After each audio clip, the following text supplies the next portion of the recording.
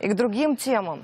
О конце света нам сообщат заранее. НАСА разработала систему раннего обнаружения угрозы столкновения астероида с Землей. О катастрофе мы теперь узнаем за пять дней. И это большой прорыв, ведь ранее ученые могли получить информацию всего за пару часов. А это значит, что шансов сбежать от космического убийцы у людей не осталось бы.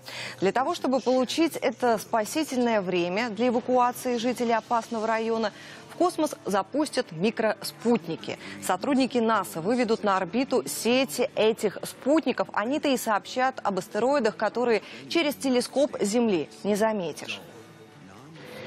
Вот вам э, может показаться, что астероиды самая важная проблема для землян. Ну а если вспомнить, что когда-то один астероид просто на уши поставил весь Урал. Некоторые из этих космических сил э, не имеют небольшие размеры, поэтому не опасны. А вот в 2013 году Челябинск стал центром космических событий. Пролетавший над городом астероид переполошил тогда весь мир.